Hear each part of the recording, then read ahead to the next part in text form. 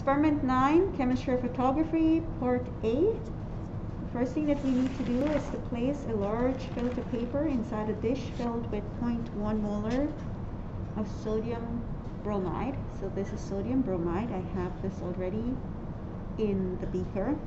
This is the filter paper. It looks like this in here. So we have filter paper. Um, and I will place it first in here then I need to allow this to dry fully before placing it into the silver nitrate beaker. And at that time, this paper, this filter paper will become light sensitive.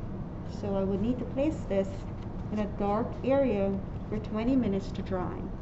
And then we will continue. So just so first thing I will place this in here. And then after removing and allowing it to dry, I will place it into this. I have the, the dry paper uh, after placing it into the sodium bromide and now I will place it into the silver nitrate. And I'll use this to just kind of like make sure that it's completely soaked with the um, silver nitrate. Okay, so at this stage, I will quickly place this into a dry um, place for about 20 minutes, and then we'll expose it to the light. Okay, so I will place 2 milliliters of sodium bromide into my test tube that I have here labeled.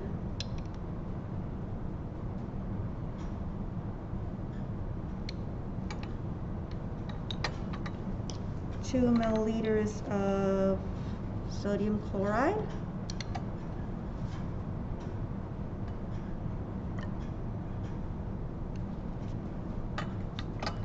And two milliliters of sodium iodide.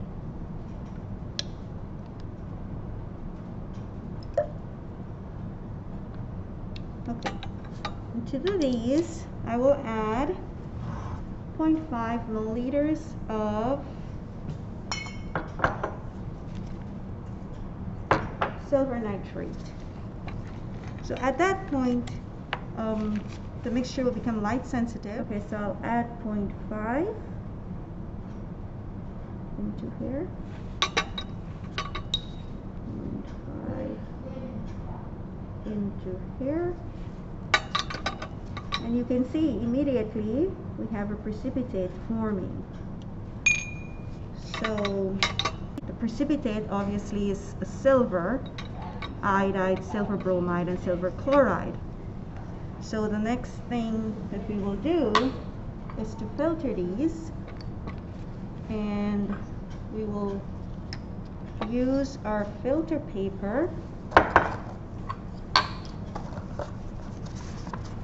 three separate filter paper and I will show you how to correctly fold these.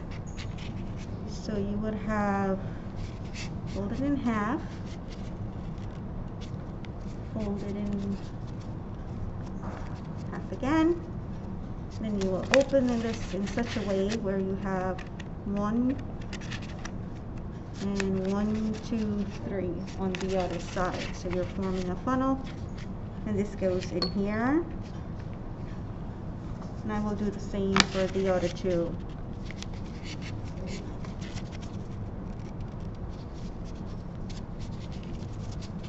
Okay so this is what we will use to capture our precipitate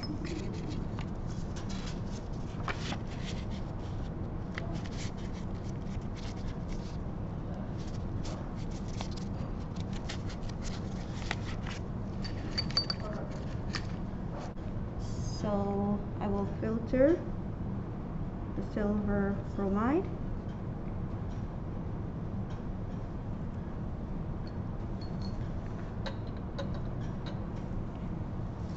Silver chloride.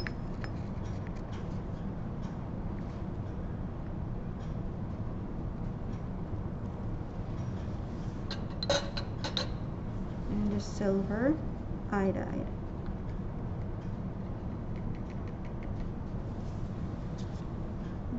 So hmm. okay so after this um, is filtered I will remove these and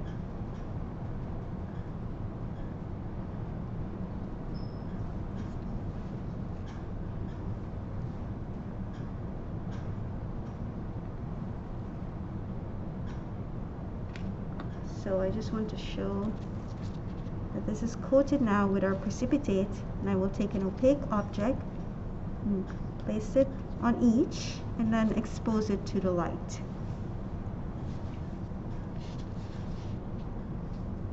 So that's what it will look like. So I will do the same for the other two. This is a salted paper method. Uh, silver bromide. The other method silver chloride, silver bromide, and silver iodide.